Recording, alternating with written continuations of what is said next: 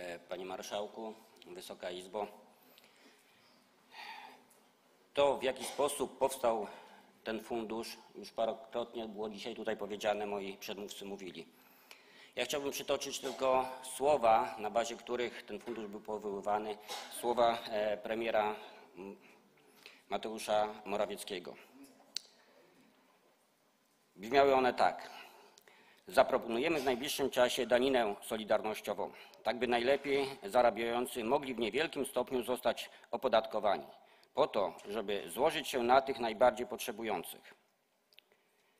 Tak powstanie Fundusz Wsparcia Osób Niepełnosprawnych. I drugi cytat. Dziś chcemy zaproponować, aby ci ludzie, którzy są najbardziej poszkodowani przez los, zostali dodatkowo wsparci. Solidarne i sprawiedliwe państwo to takie, które jest wspólnotą. Musi też polegać na tym, że ci najsilniejsi wspierają tych najbardziej potrzebujących, najsłabszych. Pana premiera tutaj nie ma dzisiaj z nami i, i niewielu senatorów z Prawa i Sprawiedliwości, ale chciałem zadać pytanie. Co takiego zrobiły te osoby, czym wam zawiniły, że chcecie je tak ukarać? Czy być może dlatego, że nie zawsze popierają Prawo i Sprawiedliwość? A może jest to takie bardzo cyniczne postępowanie, bezwzględne, szukanie finansów na to, aby spełnić obietnice wyborcze, które Prawo i Sprawiedliwość poczyniło. Mam tu na myśli 13 emeryturę. Wiem, że to są trudne pytania i dużo pytań, ale szczerze mówiąc, w głowie mi się nie mieści, jak można tak oszukiwać ludzi. To nie przystoi naprawdę parlamentarzystom, nie przystoi partii, szczególnie która twierdzi, że jest partią ujmującą się za tymi słabszymi. Tak jak powiedział premier.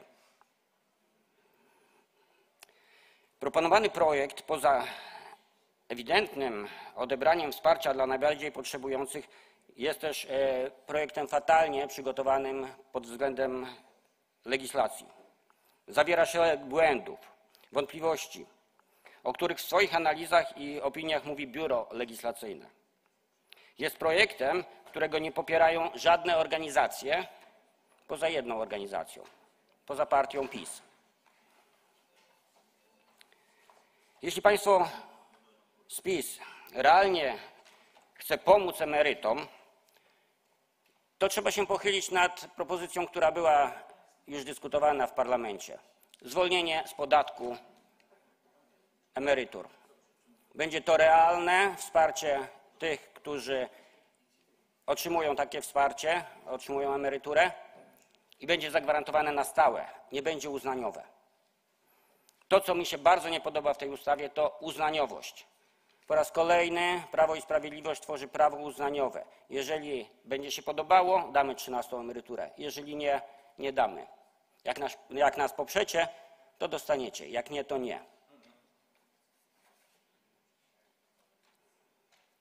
Jeżeli zabraknie tych pieniędzy, to pytanie, czy Prawo i Sprawiedliwość sięgnie też po inne. Zachęcałbym do szukania pieniędzy gdzie indziej, nie u tych najsłabszych. Można ograniczyć e, dotacje na telewizję publiczną, która jest tylko tubą propagandową. Można ograniczyć dotacje dla ojca Rydzyka i wesprzeć tych, którzy naprawdę potrzebują tych pieniędzy. Ten projekt to dla mnie hańba i grabież nadziei osób z niepełnosprawnościami. Dziękuję. Dziękuję panie senatorze.